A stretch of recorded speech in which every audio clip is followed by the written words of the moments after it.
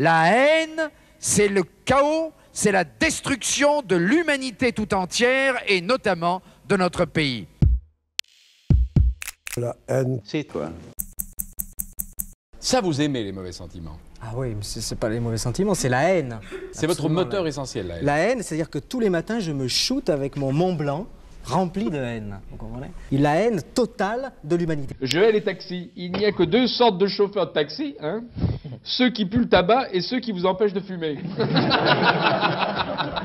Si vous connaissez une troisième catégorie, vous me dites Eh oui, il n'y en a pas donc. Il n'y a pas. Les coiffeurs, pourquoi? Parce que j'ai horreur qu'on me tripote la tête par derrière en me racontant des conneries dans le dos. Nous sommes tous capables de haine, ce n'est pas du tout réservé à une population donnée. Les psychiatres disent même que les mères ont à un moment quelconque une haine contre leur enfant qui leur bouffe la tête, qui leur bouffe leur emploi du temps et elles ne supportent plus. Eh bien, elles combattent ça.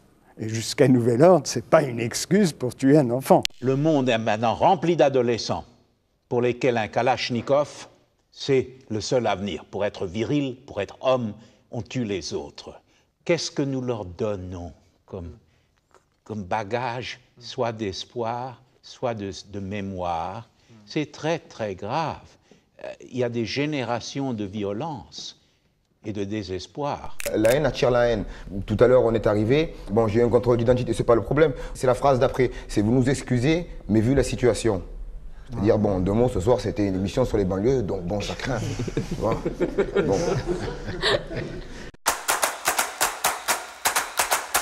Je crois que la culture est- crée des barbaries.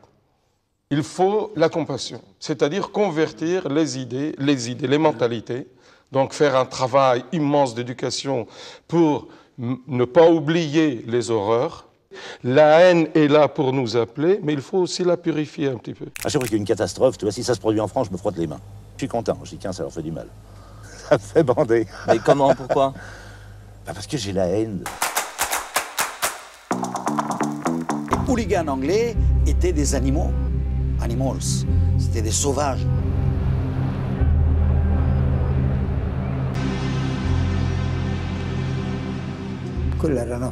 C'était la furie, un déluge.